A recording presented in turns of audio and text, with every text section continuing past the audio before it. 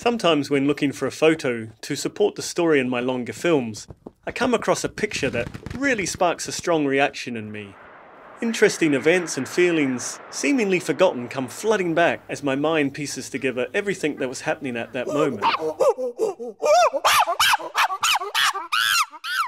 Eight years of driving Alandi around Africa has produced a lot of funny, weird, scary, and very interesting moments. Rather than enjoying these flashbacks on my own, I thought I'd create this little series to share some of them with you, to go behind the photo a little and enjoy some of the deeper context from the day it was taken. Our first photo is from the Republic of Congo, back in 2010 when I was on a three year trip around Africa and captured my favourite animal shot to date. The only info I had about the whole situation was a set of GPS waypoints in the north of the country, showing a turnoff from the main road, and so I set off down this innocent looking track, hoping for the best.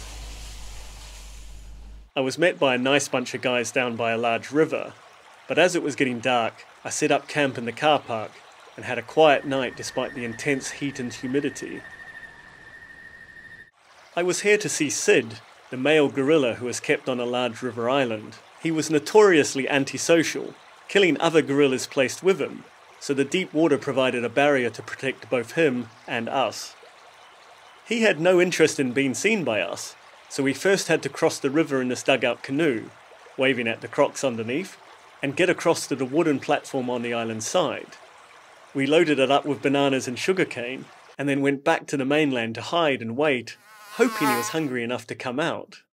It took a few sweaty hours fighting off the mosquitoes, but finally Syd emerged from the bush looking cautiously to see if any pesky humans were around. Even from a distance, you could see he was ginormous. When he was comfortably in place on the platform, munching away, we slowly emerged and took the canoe across the river to some wooden poles a few meters away from his platform that we could hold on to. The human like look of disgust and slouch of his shoulders when he saw us emerge was so funny. He really hated us for bribing him like this. He grandly postured and posed, showing us who was the boss, and I did my best to capture some good photos with the very basic first generation of digital cameras that I was travelling with as we bobbed up and down on the fast flowing river. But as he dropped a large piece of fruit over the back of a platform, I couldn't stop laughing as he gave us a unique and unexpected pose that was both beautifully majestic and summed up his whole attitude to our presence.